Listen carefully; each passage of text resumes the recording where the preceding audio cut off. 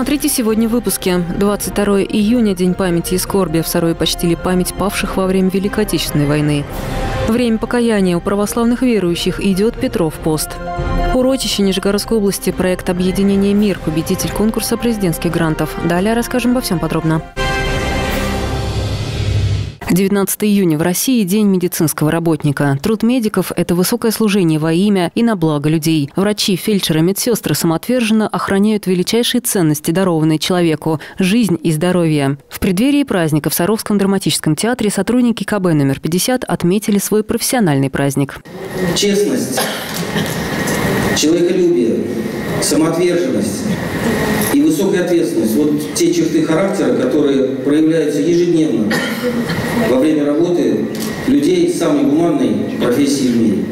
Да, у нас непростой труд, но и радость от удовлетворения от полученных результатов ни с чем не сравнить. Ведь счастливые глаза, получившие исцеление больного, это самая большая награда для врача. В этот день на сцену поднимались врачи, медсестры, административный персонал. Среди награжденных была Елена Тришина, старший врач отделения скорой медицинской помощи. Елена Николаевна с детства мечтала стать врачом и помогать людям. Пришла работать сразу в отделении скорой помощи, где трудится уже 12 лет. Быть медицинским работником – это призвание, это специальность, которая не любит и не принимает случайных людей, людей со стороны, поскольку люди должны любить свою работу, любить людей, а, быть отзывчивыми, а, стремиться всегда помочь, никогда не проходить мимо чужой человеческой беды. Многолетняя дружба связывает КБ номер 50 и Арфят Свнеев. Ядерный центр первым пришел на помощь медикам во время пандемии коронавируса. В том числе предоставил необходимый транспорт, помогал с закупкой оборудования и оказал большую финансовую поддержку. Совместными усилиями удалось смягчить удар ковида и снизить количество смертей. Но и после пандемии совершенствование и развитие медицинской помощи остается приоритетной задачей для градообразующего предприятия. Это и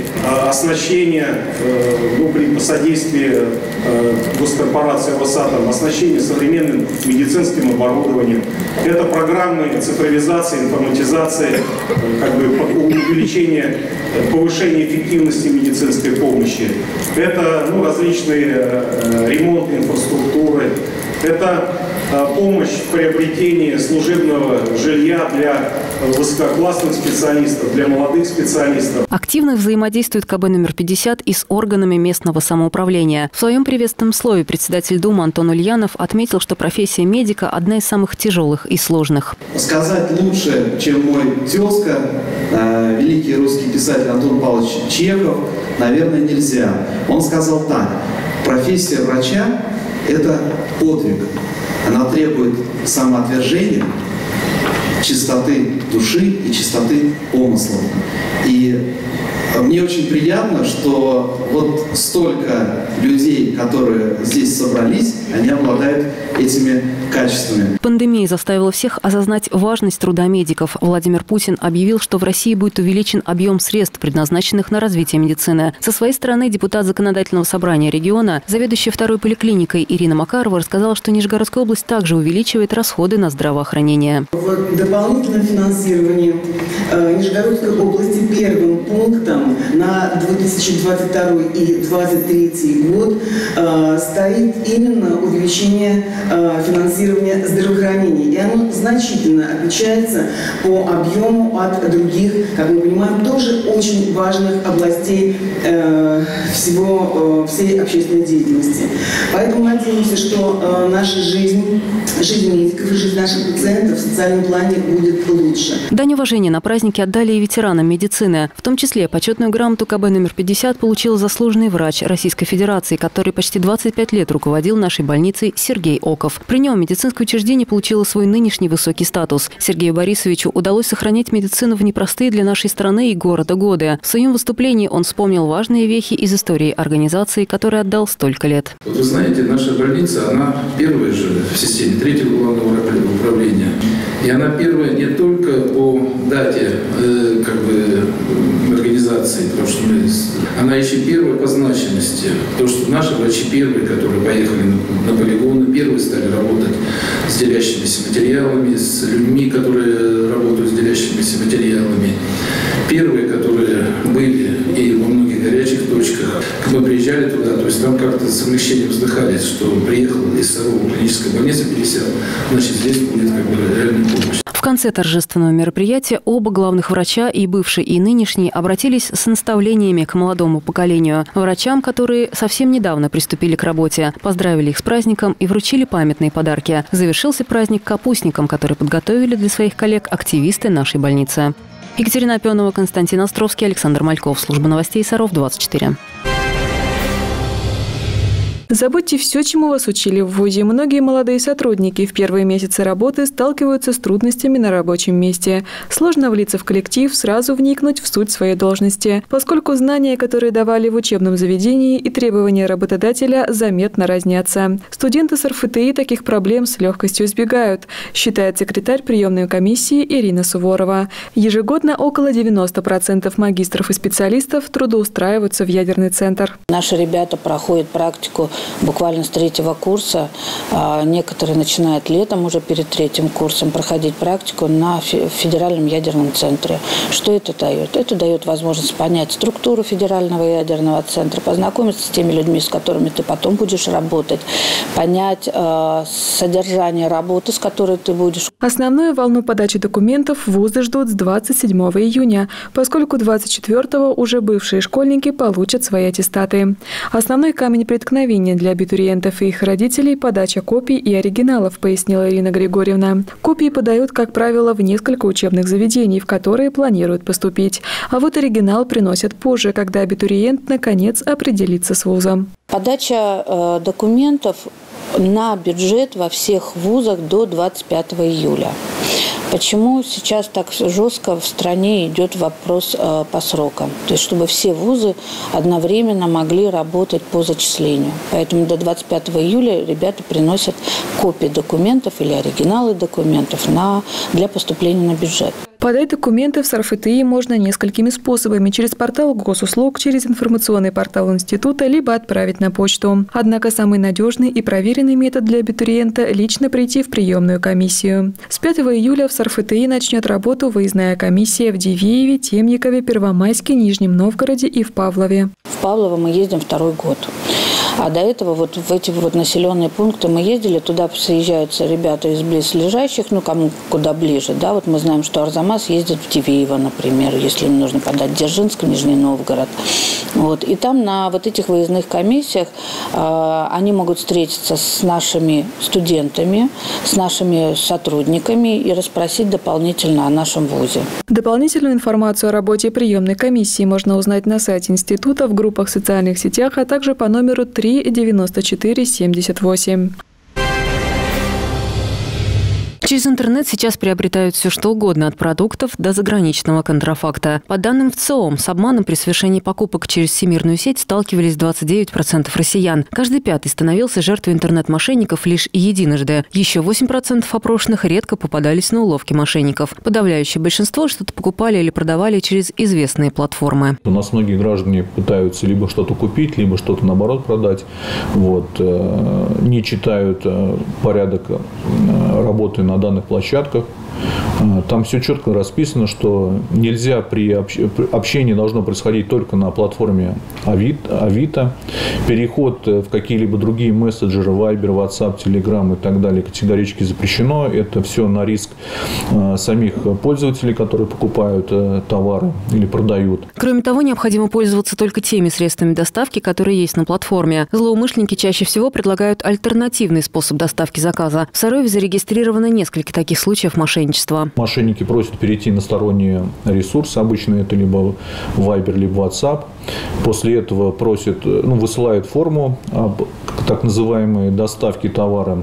Гражданин, который продает товар, вносит туда все свои банковские данные. Мошенник убеждает его в том, что э, он на данную карту перечислит ему денежные средства, полагаемые за продажу товара. В итоге гражданин вводит туда все свои данные, подтверждает э, СВР-кодом. А дальше вместо того, чтобы получить деньги, продавец все средства с карты теряет. Как правило, исчезает вся сумма, которая находится на счете. Кроме того, бывает, что граждане не проверяют товар при поступлении в пункт выдачи. Хотя правила интернет-платформ четко оговаривают, что это необходимо сделать. В последнее время мошенничают с видеокартами. У нас граждане забирают посылку домой, в ходе распаковки, ну, соответственно, соглашаются с то, что товар доставлен и все с ним хорошо, соответственно, транспортные компании перечисляют денежные средства продавцу, дома распаковав, вот такие у нас несколько фактов зарегистрировано, получая видеокарту, она либо не соответствует заявляемым требованиям, либо другой марки. Соблюдая некоторые правила предосторожности, можно оградить себя от возможных неприятностей. Прежде чем что-либо приобрести на неизвестном вам сайте, проверяйте полную информацию о нем, почитайте форумы. Покупая на известных платформах, ищите отзывы о продавце и общайтесь с ним с помощью формы связи на сайте.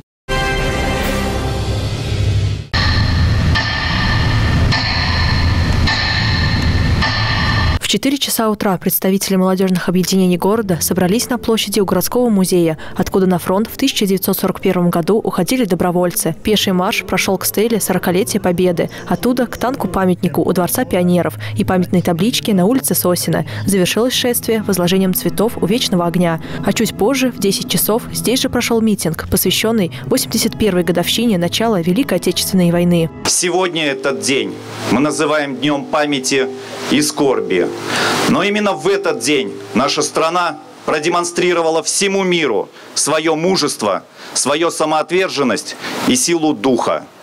Уважаемые ветераны, от всей души в этот день хочу пожелать вам крепкого здоровья, счастья, долгих лет жизни – и мирного неба над головой. В митинге приняли участие представители администрации, юношеские военно-патриотические объединения, организации дополнительного образования, а также объединения «Дети войны», ветераны РФЯЦ ВНИЕФ, Саровская городская организация ветеранов. Все пришедшие в этот день к вечному огню почтили память павших на полях войны минутой молчания и возложением цветов.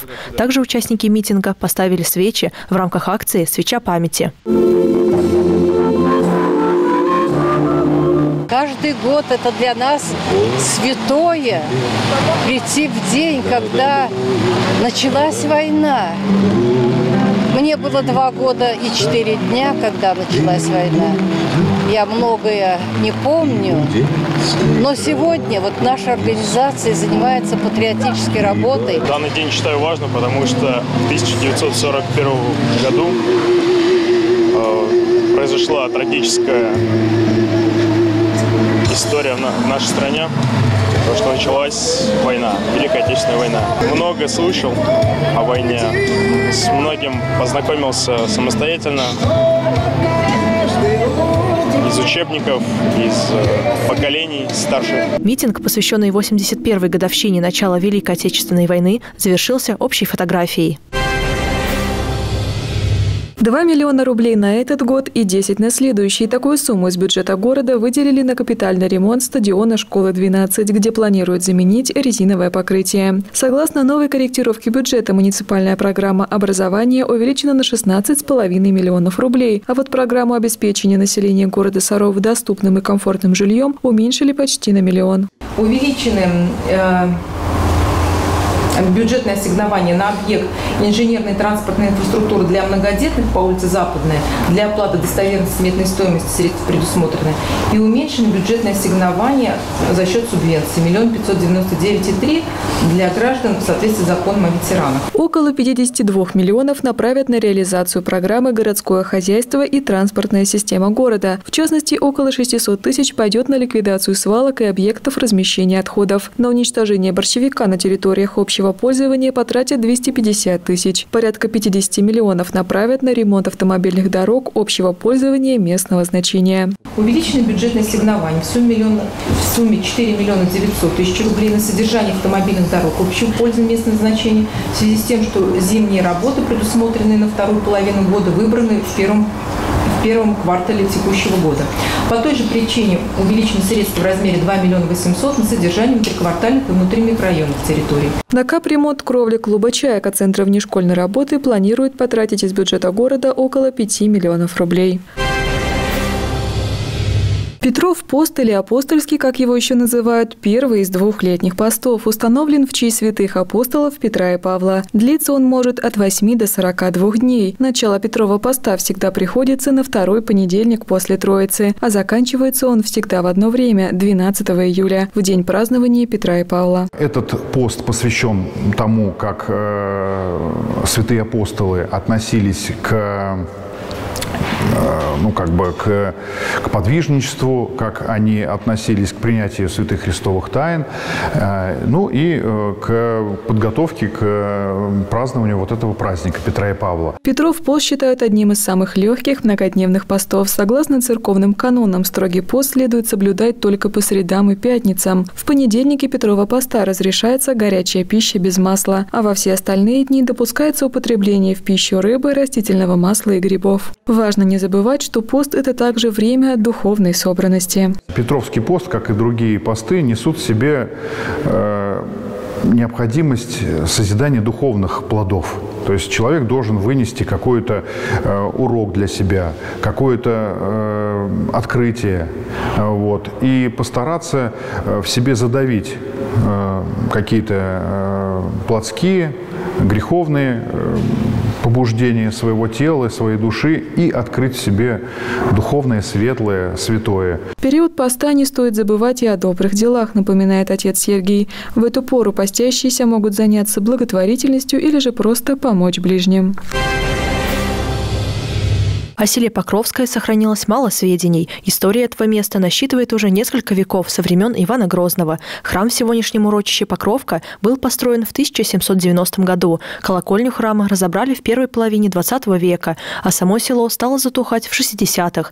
Сегодня здесь о былой жизни напоминает только разрушенная церковь и небольшое кладбище. Фильм о церкви Покрова Пресвятой Богородицы – это одна из совместных работ Романа Сванидзе и Александра Гусихина в рамках проекта «Урочище Нижегородской области» об уходящем уходящих в прошлое селах и храмах. Мы работаем только с открытыми источниками. На работу с архивами у нас нет ни возможности, ни времени. И даже работая с, э, с открытыми источниками, приходится очень много сопоставлять, выверять, собирать по крупицам. Иногда приходится прочитать две книги, для того, чтобы одна фраза только в фильме прозвучала. Александр Гусихин и Роман Сванидзе уже сняли четыре видеосюжета о заброшенных храмах, а всего таких урочищ в Нижегородской области насчитывается порядка десяти. Чтобы снять остальные фильмы, команде энтузиастов потребовалась финансовая поддержка, и они решили подать заявку на конкурс Фонда президентских грантов. В итоге проект «Саровчан. Урочище Нижегородской области» стал победителем. До этого он также снискал успех и на областном конкурсе видеороликов. Меня как бы это дальше ну, как бы сподвигало. То есть вот всегда какой-то импульс. Если что-то ну, как бы оценивают, да, как бы, и начинаешь, ну, как бы дальше же хочется ну, двигаться в этом направлении, показывать людям, что вообще осталось вот по нашей области, какие памятники архитектуры, истории. Итогом проекта станет документальный фильм, состоящий из небольших видеосюжетов о 10 заброшенных храмах в урочищах Нижегородской области. В рамках гранта до конца ноября Роман Сванидзе и Александр Гусихин также проведут презентацию проекта и встречи со зрителями в Нижнем Новгороде, Сарове, Ваде и других городах области. Женщина, которая поет Ирину Оськину, знает практически весь Саров. Постоянная участница городских концертов, руководитель вокального коллектива Центра культуры и досуга ВНИЕФ, педагог детской школы искусств номер два, которая выпустила не одно поколение талантливых детей. Этим летом Ирина Зидулаевна взяла новую ступеньку в музыкальной карьере, прошла кастинг на шоу Первого канала «Голос 60+.» Несколько лет тому назад я маме э, по ее просьбе э, сказала, она мне сказала, что, дочка, я бы хотела тебя там видеть. Я я ответила, мам, я постараюсь там быть, но, к сожалению, она умерла, и вот данное слово мной, вот как бы вот эти несколько лет, они во мне сидели. Э, после смерти мамы я долго, э, определенное время болела, восстанавливалась, но сейчас вот нашла в себе такую возможность э, попробовать свои силы. Кастинг на шоу длился два дня. За это время его прошли 160 участников из разных городов России. Как рассказала Ирина Зидулаевна, в ее группе самой старшей претендентки было 86 6 лет. На кастинге нашей соотечественнице пришлось выступить перед жюри два раза. Первый раз не было генерального продюсера. Результат она ждала несколько часов. И вот вечером раздался звонок. Пригласили на следующий этап – слепые прослушивания. После того, как я написала в ВК вот, э, обращение к к Сарову, к жителям Сарова, я увидела огромное э, количество лайков и комментариев от наших э, саровских э, зрителей, людей, жителей, чему я очень благодарна. Стала ловить себя на том, что я должна как-то собраться и побороться. Все это время Ирина Задулаевна чувствовала огромную поддержку своих родных и близких коллег и учеников. Большую помощь ей оказали программа «Территория культуры» Росатома, Центр культуры и досуга ВНЕФ и Департамент культуры. Этот кастинг был первым в жизни саровчанки, но, как она признается, волнение, которое она на нем испытывала, не сравнится с волнением за своих учеников на конкурсах. Я все-таки преподаватель,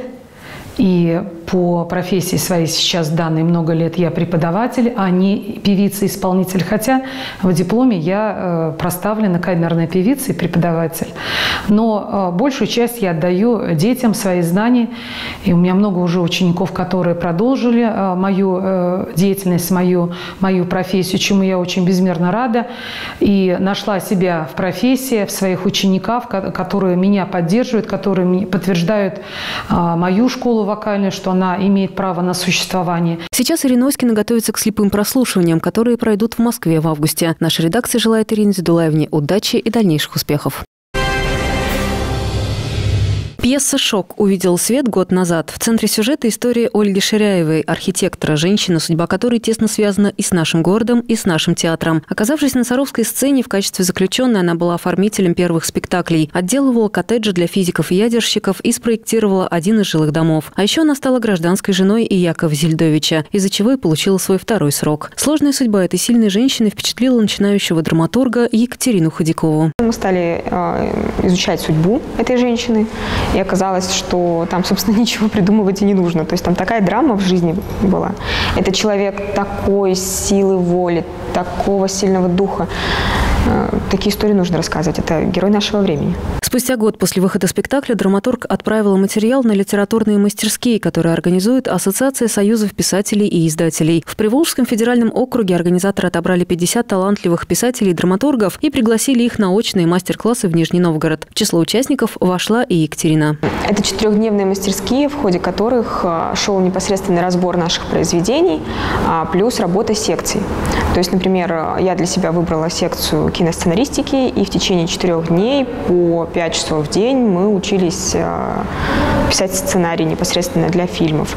А также мы разбирали произведения, которые представили на этот конкурс. У нас мастером курса был Дмитрий Данилов вместе с Еленой Исаевой. Пьесу Екатерины назвали одной из лучших в конкурсе. Она получила одобрение мастера курса. Дмитрий Данилов принял шок очень благосклонно и предложил вывести его на большую сцену. Это лестно, это приятно. Внимание такого мастера – это всегда приятно. И э, я постараюсь учесть все его замечания и доработать пьесу. Теперь «Шок» будет опубликован в литературном сборнике. Дмитрий Данилов и драматург Елена Исаева пророчат пьесе успешную сценическую карьеру за пределами Сарова. Михаил Иванович Казамазов – старшина советской армии, участник Великой Отечественной войны. В военные годы Михаил Казамазов командовал пулеметным взводом артиллерийского полка. Отличился во время освобождения Эстонской республики. В критические моменты боя старшина Казамазов мужественно отражал вражеские контратаки. За проявленный героизм Михаил Иванович был удостоен звания Героя Советского Союза. О личности Казамазова, чьим именем названа одна из улиц Сарова, ребятам рассказали на тематическом мероприятии дворовой площадки. Если были самолеты, он их подбивал снизу. Еще, еще мне рассказывали то, что Михаил Иванович Казамазов, он себе изменил эм, фамилию на две буквы А. Сначала было Козамазов, а стал Казамазов. Ко дню 81-й годовщины со дня начала Великой Отечественной войны педагоги Центра внешкольной работы также подготовили вместе с ребятами флешмоб – танец под военную песню. Очень важно вспоминать такие дни, вспоминать героев, нашей страны, вспоминать, за что они боролись, вспоминать их подвиги. И важно рассказывать это нашим детям, детям, которые сюда приходят, дети, которые здесь играют. Почему именно так названы улицы, какой сегодня праздник, когда именно началась война. То есть все это очень важно знать. Важно знать историю нашей страны. Тематические мероприятия в рамках проекта «Дворовая практика» проходят для ребят на семи площадках города каждый будний день с 15 до 19 часов. Узнать более подробную информацию можно по телефону Центра внешкольной работы работы 98103. Мероприятие для детей старше 6 лет. Александр Колганов увлекся футболом в раннем детстве. В 6 лет его отдали в спортивную секцию, где зимой играли в хоккей, а летом в футбол. Но тогда юного спортсмена больше тянуло к мячу, а не клюшке. И на протяжении всей жизни он пронес свое увлечение футболом. Александр Колганов преподавал несколько лет в частной спортивной секции, а в спортивной школе ИКАР работает тренером второй год. Моя самая главная цель, чтобы ребята развивались как личность в первую очередь. А каких-то задач, результатов, э, высоких достижений нету здесь, поскольку у нас это спортивная школа. Вот здесь в первую очередь, чтобы дети занимались, были увлечены видом спорта и как можно дольше оставались в нем. Если у ребят есть азарт и желание заниматься, будут и победы, и высокие результаты, считает тренер. В футбольной секции Александр Колганов уделяет большое внимание личностному росту ребят. Для этого он много общается с воспитанниками, ищет каждому индивидуальный подход, учит мальчишек взаимопомощи, командному духу и уважительному отношению друг к другу.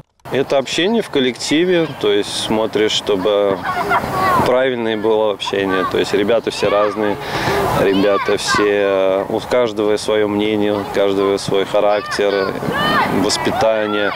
И ты здесь стараешься их э, подбивать, чтобы они были одно единое целое. Сплоченный, чтобы был коллектив. Будет сплоченный коллектив, будет уже и дальше, куда будет расти, будет результат, соответственно. В секции футбола юные спортсмены участвуют в соревнованиях различного уровня, начиная с городских мероприятий и заканчивая первенством области. По мнению Александра Колганова, занятие футболом может многое дать для ребенка. И это не только развитие физической формы, но и также мышления, креативности, быстроты реакции, концентрации внимания. Для развития этих качеств тренировки у футболистов предусмотрены специальные упражнения. Я раньше в детстве смотрел, как играют взрослые футболисты, и мне нравится, как они играют, и хотел так же. И записался в футбол. У меня есть грамота за лучшего игрока турнира «Новогодняя пятерка». Мне нравится футбол. Тренер хороший, хорошо тренирует. Конечно, проигрываем, но сможем, будем скоро выигрывать. Хотел бы получить это золотой мячик, мне очень нравится, хотел бы получить. Ну, а так-то мне, я занимаюсь ради удовольствия, потому что мне он нравится. Перед тем, как записаться в отделение футбола спортивной школы ИКАР на новый учебный год, можно привести ребенка в августе на предварительное знакомство с секцией. Подробную информацию можно узнать по телефону 99 393 или на сайте ИКАРа икар-саров.ру. Первенство города по теннису проводится в молодежном центре ежегодно и уже стало традиционным. На корте между собой соревнуются ребята из разных теннисных групп. В этом году в рамках первенства каждый участник сыграл по 6 игр в течение четырех соревновательных дней. Места распределялись по трем возрастным группам у юношей и девушек – до 13, до 15 и до 17 лет. Соревнования по теннису завершились церемонией награждения победителей и призеров. Мне кажется, я играл где-то средненько, мог еще лучше. Тут интересно играть, нужно бороться за выигрыш. Какие-то у тебя уже были победы до этого? Э, да. Э, вроде четыре соревнования было. Два в другом городе и два здесь. У меня было стремление к победе. У меня было желание победить. А первый раз, когда я пришла посмотреть, что это такое, мне это очень сильно увлекло. Я очень увлеклась этим спортом, потому что это, во-первых, очень подвижный, а мне, э, движение – это жизнь. Ну и мне это очень нравится.